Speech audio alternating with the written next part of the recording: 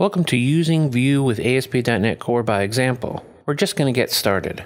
My name is Shawn Wildermuth of Wilderminds. In this first module, we're going to take a brief look at web development both now and in the past. We'll look at why I think Vue is a good solution. I'll explain some of the basics of Vue. I'll show you how to get Vue into your project.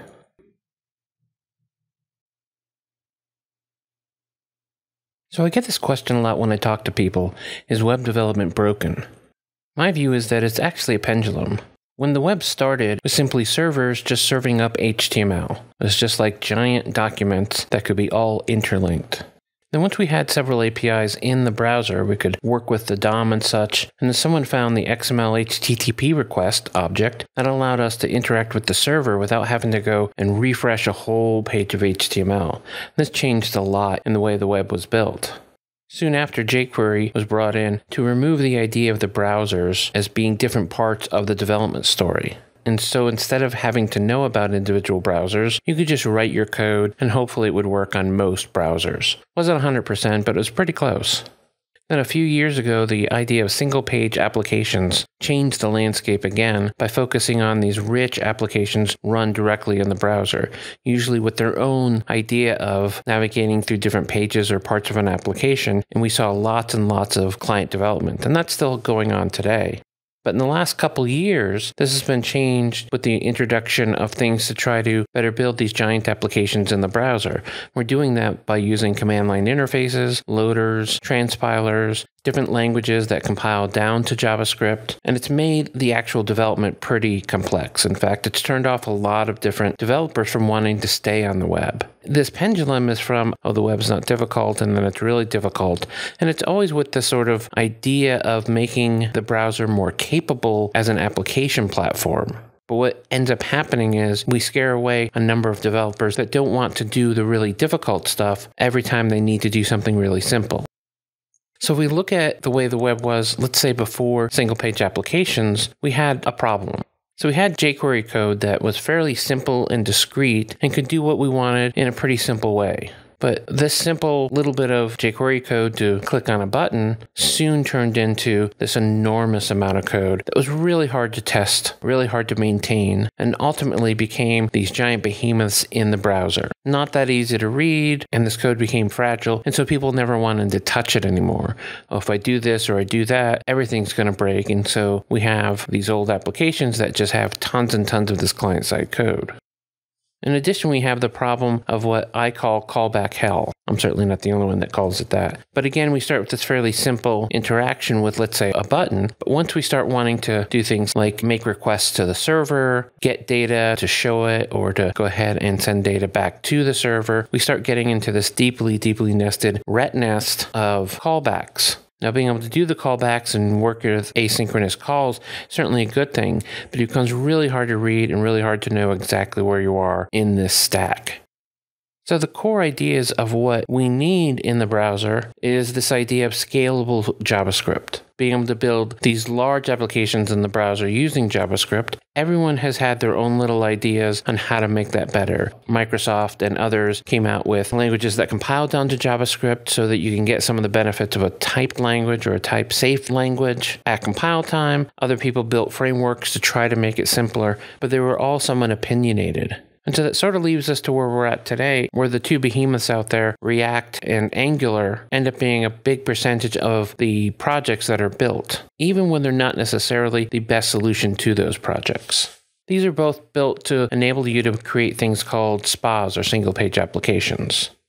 So I have some strong opinions about the phrase SPA and what it actually means for most development. Single page applications are incredibly useful in many, many occasions. You can find them very commonly as monolithic enterprise apps. So, have one giant app in the browser, you go to a single page, and then you have all this functionality in sort of the new version of the VB6 monolithic app, in my opinion. These can be consumer facing, but it's not typically. It's usually inside of an organization or from an organization to another group of that organization, or even sometimes enterprise to enterprise or company to company. Most of these want to replace the web navigation itself with something that does interpage navigation. So, navigating from one part of the application to the next, which is a good idea and is really useful. You don't want to necessarily have to navigate back to the server every time you want to display something new. It also wants to centralize these services so that getting data, holding on to data, handling how that data change is sent out to other parts of the application, all of this ends up being part of the larger story of single page applications. But we've come into a place where when I talk to users and students, they get the idea that everything has to be a spa. I think that spas are overused. SPA is actually a really great solution to forms over data, but that represents some percentage of the kind of applications that are written. Spas are also great for dashboards when you are dealing with a lot of data, even though you may not be navigating to different parts of a page. But using a crowbar to get a spa into your typical website just seems silly when all you need in some cases is validation of a form, or maybe you want sortability in a list of products or a list of items on a page, or you just want to have a simple grid of data that you want to be able to have some interactivity with without having to necessarily build the entire spa. So, next, let's talk about how Vue wants to approach this idea.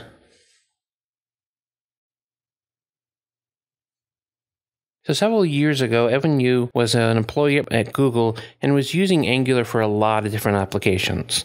Now, let me be really clear this course isn't meant to, and even my opinion isn't that Angular or React are necessarily bad. I want a tool that will allow me to scale up a little better than what Angular and Vue allow us to do.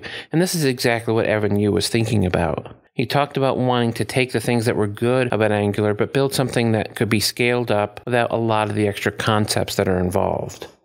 So let's see what this looks like when you start to look at the anatomy of a typical app in React, your code is sitting on top of a compiler that's going to take the JSX part of that and then run it through a second compiler to convert the Babel into something that's ready for the browser, and then Webpack to put it all together to have browser ready code.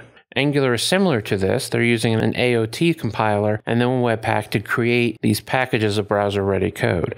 Now, using Webpack or other loaders or using compilers isn't necessarily a bad thing, but in order to do even the smallest application here, you need to understand a lot of concepts. In fact, the idea of building these command line interfaces or CLIs has been to try to hide some of that complexity that complexity itself is more code that you have to actually deal with as a developer. And one of the reasons why I like to have an alternative here when I'm not building a giant monolithic app like I would in Angular, or if I'm not building a highly componentized dashboard like I might in React, I wanted to have another option.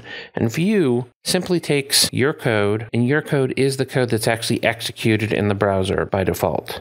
You put in vue.js, you put in your code, and it runs and does these smaller pieces that you might need in your application. I call this enhancing a website versus building a spa.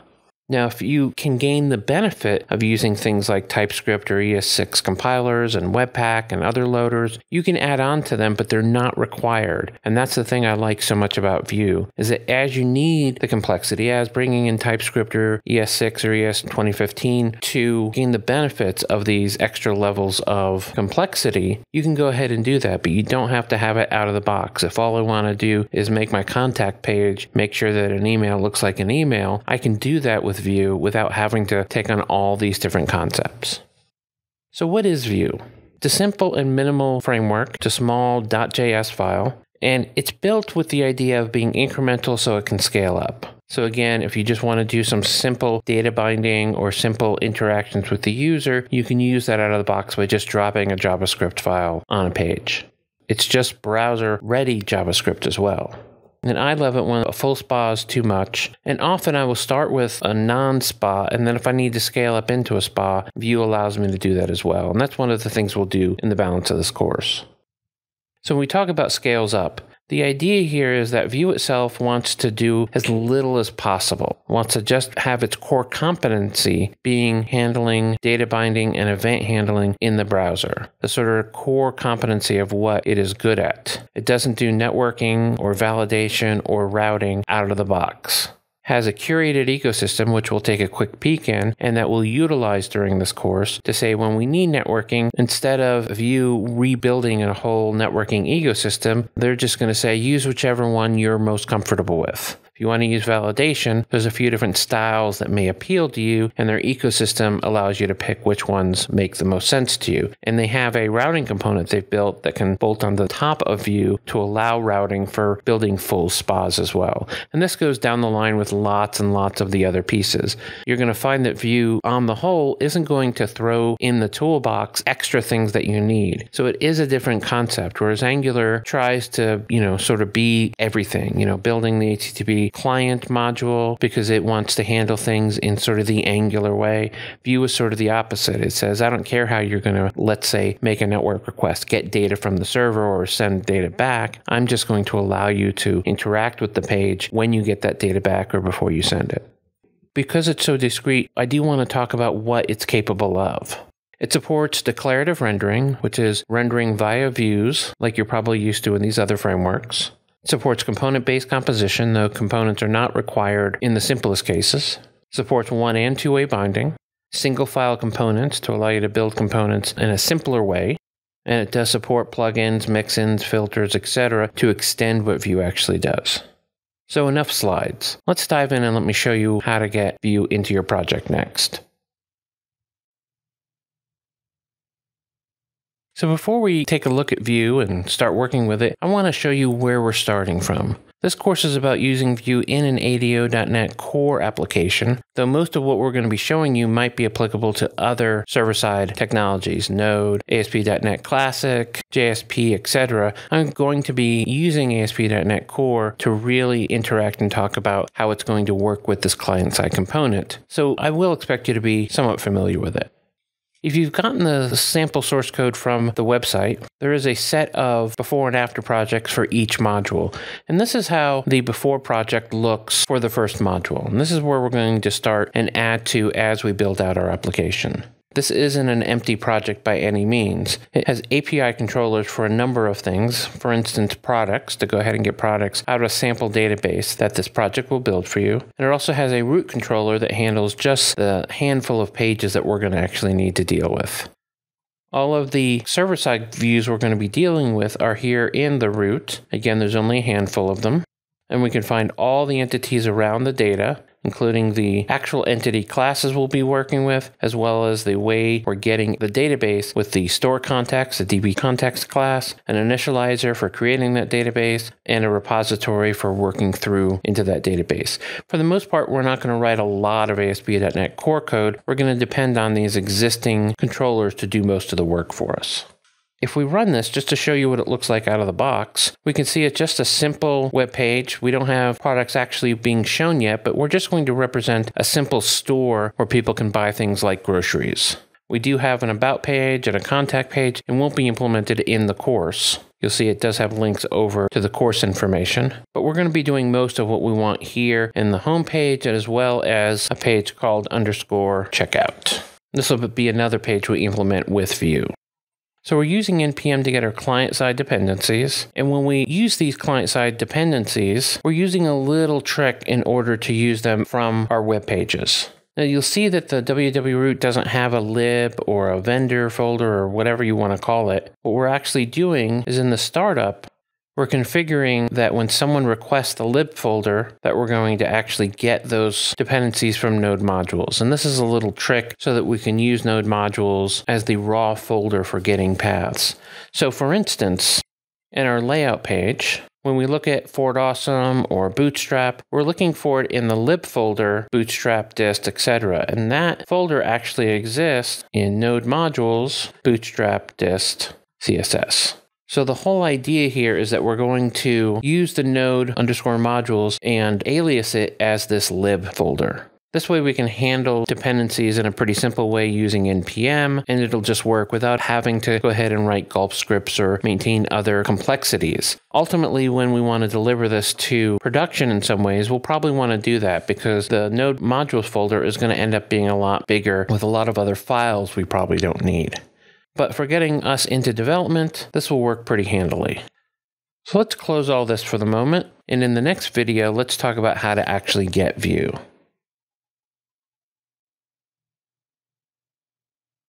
So let's go ahead and get Vue into our project. So if you go to the Vue.js.org website, you're going to find the root page of what is Vue. And we're going to start by just going to the Get Started button. The Why Vue.js will show you a video that sort of talks through that, but let's focus on the actual getting started because that will tell us a little bit about how to actually get it. In Vue, you can just drop a, a, single source of Vue.js directly into your project. But for us, we're going to actually go ahead and use a package manager, npm, to get Vue in the version we want. So here in Visual Studio, if we go down to npm or package.json, let's go ahead and just add a new Vue is the name of the project. And then the version is, and this version might be a little different, but it's going to be 2.5 point something probably as you're watching this course. And Visual Studio will go ahead and add that for you. Of course, if you're more familiar or comfortable with the command line, we could of course use npm install save vue, and it would have done the same thing. Doesn't matter how you get it into the package.json, just important that you actually get it in there. And once we've added it, we can simply go to, let's say, our index page. And in our ASP.NET project, we've created a section called scripts where we can inject scripts onto the layout page. If you haven't done this before or haven't done with ASP.NET much, the layout page is the container that all the other views are going to, for the most part, live in.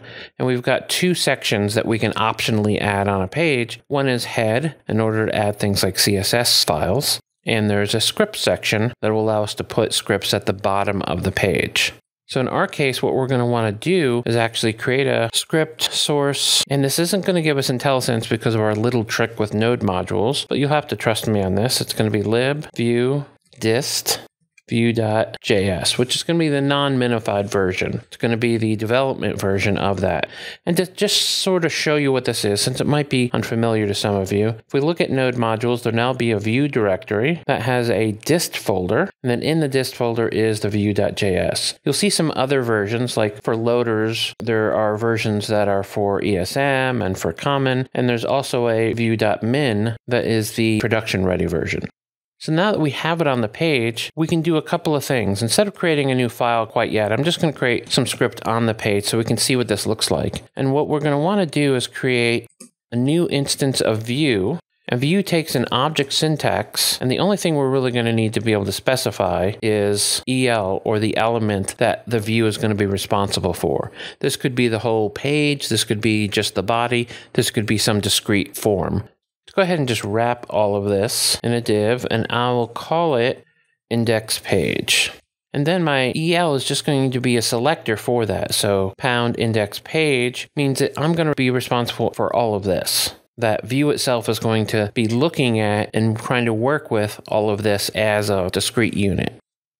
And we can use these double curly braces that if you've used some of the other libraries, you're probably familiar with now. And that will allow us to do arbitrary JavaScript effectively here. We're actually going to be using this for data binding to data on the view and such later. But in its most simple form, we can do new date get full year.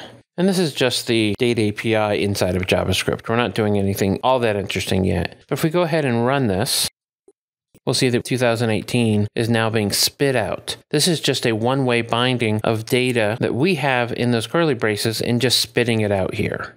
Now, at the very basic level, we can see that creating our Vue instance is doing is allowing us to execute JavaScript on the client side.